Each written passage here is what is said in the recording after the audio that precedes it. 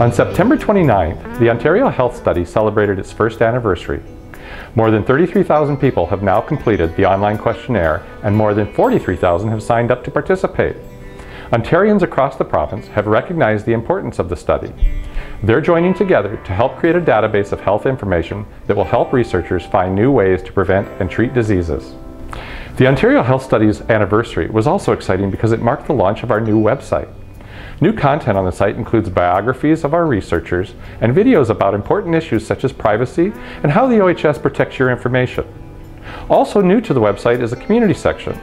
This is where you'll learn about the latest study news, as well as when the OHS will be in your neighborhood.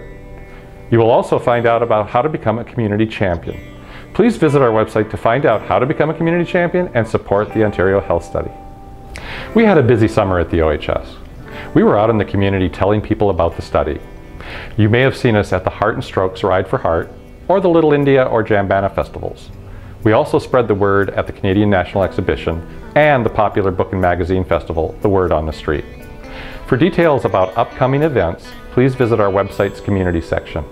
We look forward to meeting you and telling you why the Ontario Health Study is worthy of your participation. Together we can build healthier communities.